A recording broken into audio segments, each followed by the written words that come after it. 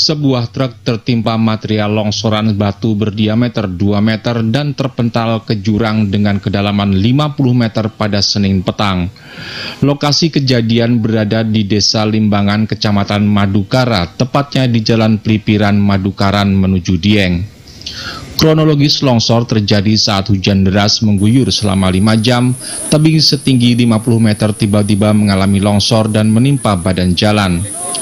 Naas saat kejadian tengah melintas truk dengan muatan kayu dan reruntuhan batu besar tak bisa dihindari.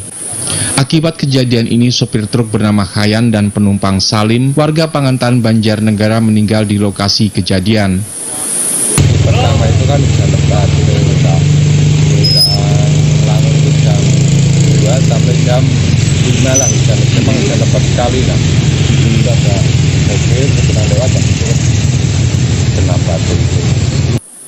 Area lokasi bencana masih rawan terjadi longsor susulan, akses jalan penghubung antar kecamatan dari arah Banjarnegara menuju Pangentan hingga saat ini masih ditutup. Evakuasi material batu dan truk di dasar jurang dilakukan menunggu kondisi tanah stabil.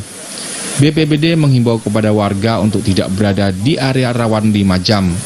Hendra Septa, TVRI, Jawa Tengah.